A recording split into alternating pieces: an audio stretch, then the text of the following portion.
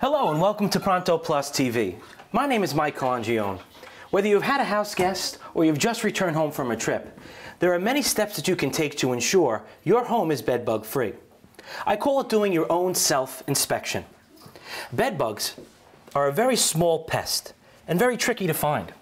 They can be as large as a raisin or as small as the top of a sharpened pencil. So you say, where do these bedbugs hide? Well, bedbugs like to hide in cracks and crevices.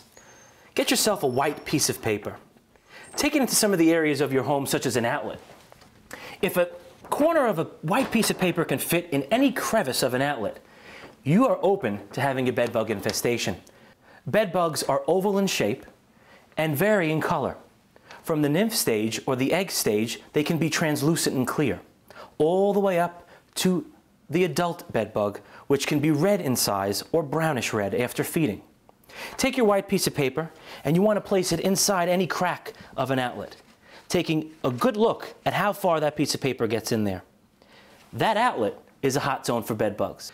Bedbugs like to hide in cracks and crevices, in the folds of the mattresses, and especially in couches.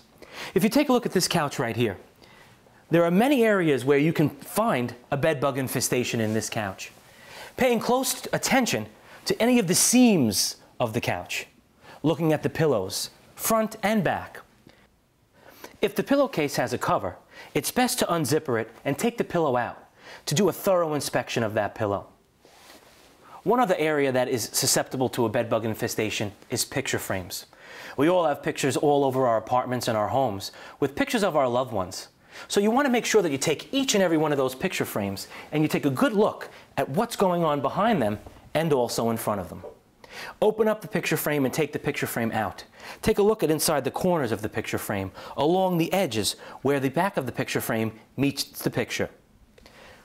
Other areas that you want to pay close attention to is the bottoms of your walls, if you have any moldings, or even the windows.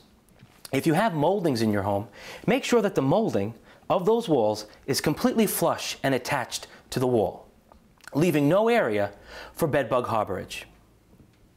If you have moldings around your home or your apartment, you want to make sure that the molding is flush and attached to the wall.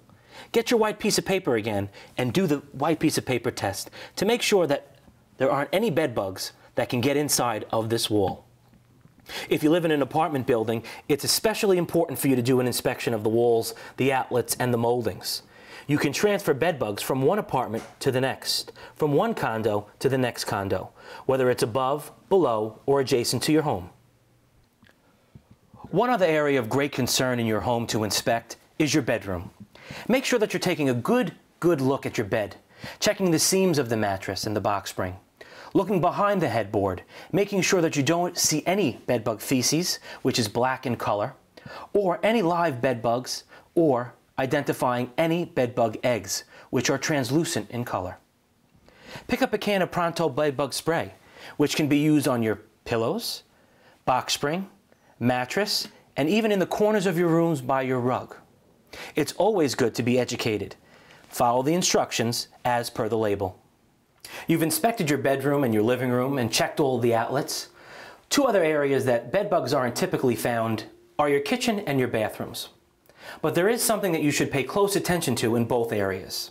Make sure that you're taking a good look at the towels that you have around in your kitchen and your bathroom, picking up any rugs that you might have laying on the ground. Make sure that you take these towels and also any rugs that you might have in these areas and wash them on high heat in your washer machine and also high heat in your dryer.